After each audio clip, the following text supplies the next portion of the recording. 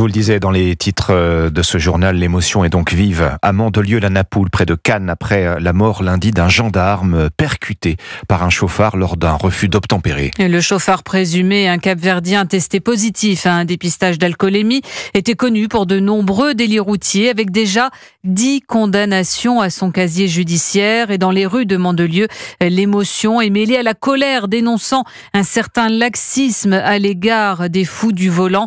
Reportage du correspondant d'Europe 1, Frédéric Michel.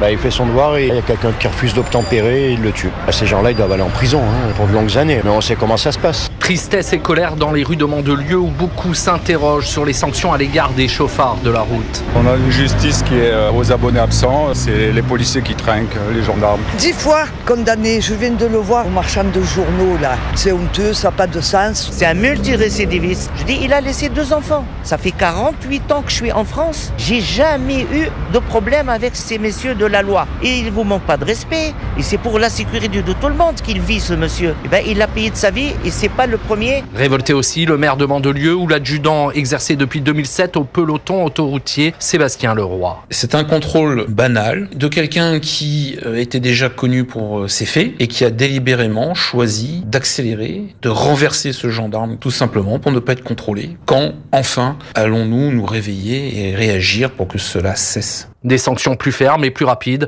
c'est ce qu'attendent les élus et de nombreux citoyens. Mandelieu, Frédéric Michel, Europe.